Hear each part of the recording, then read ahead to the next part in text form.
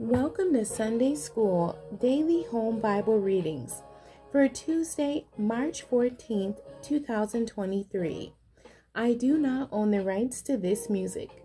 Today's topic is a messenger of rebuke, and it's coming out of Judges chapter 2, verses 1 through 5. And that reads And an angel of the Lord came up from Gilgal to Bochim and said, I made you to go up out of Egypt, and I brought you unto the land which I swear unto your fathers.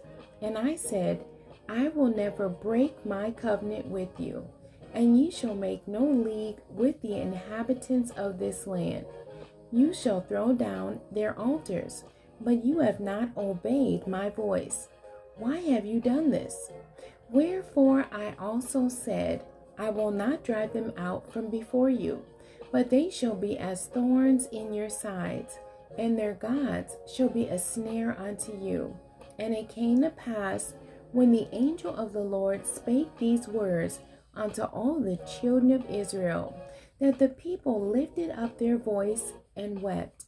And they called the name of that place Bochim, and they sacrificed there unto the Lord the end. God bless you and thank you for joining me today.